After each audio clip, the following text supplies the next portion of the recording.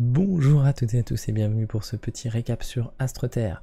Je profite de l'introduction comme d'habitude pour vous proposer de laisser un petit message et un petit pouce si ça vous fait plaisir. Ça soutient la chaîne et ça soutient aussi la visibilité du projet. Alors ce soir, on a continué à travailler sur l'interface et la première bonne nouvelle, c'est que le stream n'a pas craché et donc j'ai corrigé, euh, enfin j'ai changé un petit paramètre dans Windows, j'ai mis à jour mes drivers de carte graphique et aussi j'ai mis à jour OBS. J'espère que ça va continuer comme ça et donc du coup, normalement, vous devriez retrouver sur la chaîne la rediffusion du stream euh, si ça vous dit de voir euh, l'intégralité de ce que j'ai pu faire. Mais restons sur le récap et donc je vais vous montrer les nouveautés qui sont toujours liées à l'interface et au changement de résolution. Bon, la première chose sur laquelle j'ai bossé, c'est ça. Alors je vous avais déjà montré ça dans le récap euh, d'hier. tout simplement, j'avais appliqué une mise à l'échelle en facteur 2.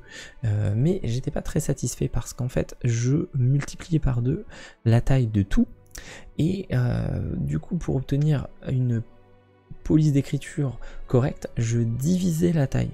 Et du coup, quand on divise, enfin, quand on agrandit d'abord la police, puis qu'on divise la police, on a un effet de flou qui est pas joli du tout.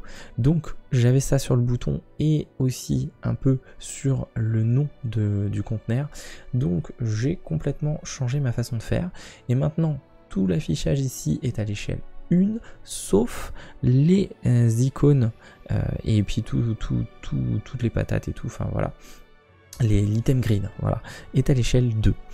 Mais en vrai, euh, si je l'avais pas fait hier, c'est parce que c'était compliqué, parce que le fait d'avoir certains éléments à l'échelle 1 et d'autres à l'échelle 2, ça fausse complètement la gestion des différents espaces de l'interface. Par exemple, euh, il faut imaginer qu'on a un certain nombre de rectangles invisibles euh, pour caler, pour centrer comme il faut ce conteneur. Par exemple, on a un grand rectangle en haut euh, qui fait toute la page, on a un deuxième rectangle qui fait la partie centrale et on a un troisième rectangle qui fait la partie du bas. Et puis, euh, par exemple, dans la partie centrale, on a à nouveau trois rectangles. On a un rectangle à gauche, un rectangle central, un rectangle gauche. Et en fait, à chaque fois, on va subdiviser tous les espaces jusqu'à obtenir eh ben, tout ce qu'il nous faut. Et du coup, bah, les dernières subdivisions, euh, celles qui correspondaient aux patates, mais celles aussi du bouton en bas, n'allaient pas à partir du moment où je faisais un changement d'échelle. Donc il a fallu bidouiller un peu, mais au final j'ai réussi, j'en suis très content. Euh, ça y est, l'interface est propre. Alors autre chose que vous avez peut-être pu apercevoir, mais c'est la nouvelle version de l'information pop-up, celle qui apparaît quand je survole un item.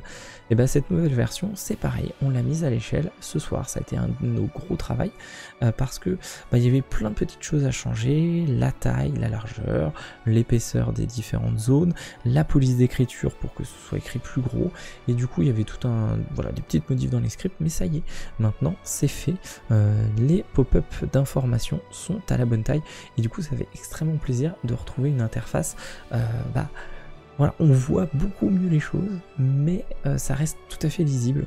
Euh, mais c'est pas plus petit en fait. On voit plus de choses, mais c'est pas plus petit. Donc ça, c'est super cool.